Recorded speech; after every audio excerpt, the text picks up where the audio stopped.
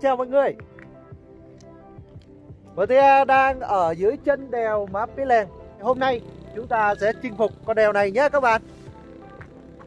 Đi từ hướng phía sau kia Đây là hướng uh, Mèo Vạc. Chúng ta sẽ chinh phục con đèo này từ hướng Mèo Vạc Và đi lên Đồng Văn. Và bây giờ thì chúng ta sẽ bắt đầu cái hành trình. Đi chinh phục con đèo Má Pí Lèng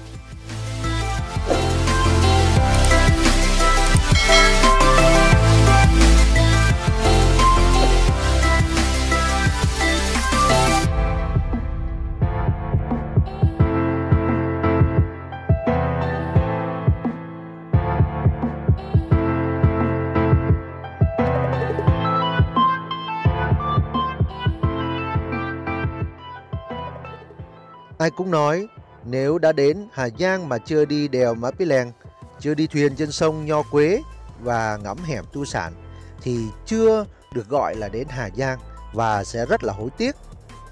Vậy nên lần này VTA quyết định đi cho bằng được cả ba địa điểm này. Và đây là đèo Mã Pí Lèng, một con đèo huyền thoại, một con đèo vua của các đỉnh đèo. Nằm trên quốc lộ 4C, con đèo này nối giữa Mèo Vạc và Đồng Văn. Với 20 km, Mã Pí Lèng không phải là con đèo dài nhất, nhưng là vua của các đỉnh đèo nguy hiểm ở miền Bắc. Bởi nó nằm trên độ cao 1.200 cho đến 1.400 mét. Con đèo nằm treo leo giữa một bên là vách núi thẳng đứng, một bên là vực sâu hun hút.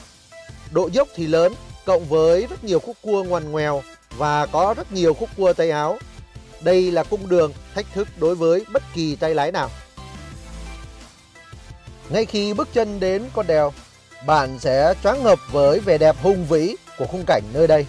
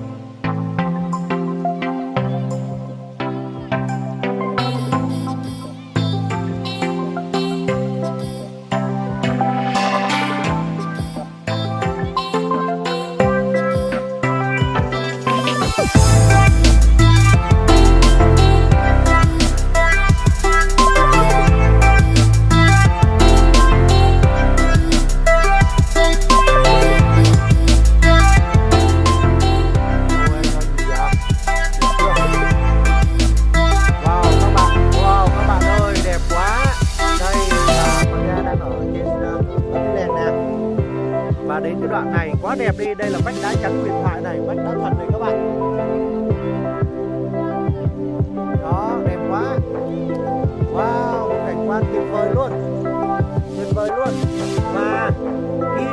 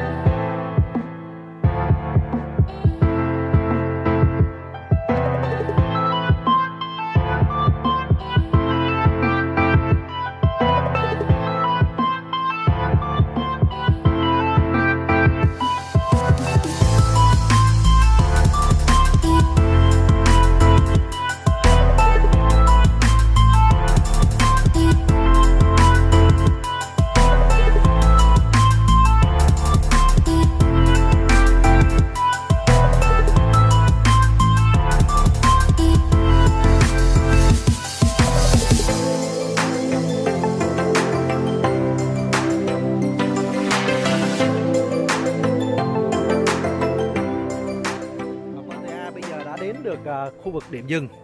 Đây là cái điểm dừng chân để cho các du khách có thể tham quan toàn bộ khu vực sông Nho Quế cũng như là hẻm tư sản. Khi chúng ta đi qua đèo Mã Pí Lèng. Và điểm dừng chân này nằm giữa lưng chừng của đèo à, Mã Pí Lèng.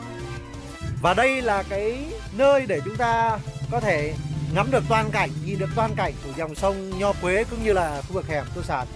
Các bạn sẽ có hai cái nơi để đứng, một cái nơi ngay ở ngay cái à, bên đường luôn và một cái nơi nữa là phía dưới kia đó một cái điểm để chúng ta có thể tham quan và nhìn xuống như vực luôn lát nữa chúng ta sẽ xuống đó nhé nhưng trước tiên thì chúng ta sẽ tìm hiểu một số các thông tin này các bạn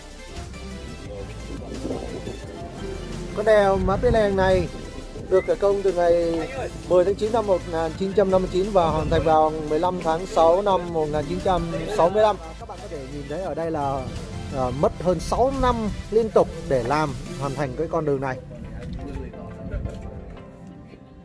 Ở đây có một cái cầu thang để chúng ta có thể đi xuống cái chỗ dừng chân ở cái điểm tham quan ở phía dưới đây.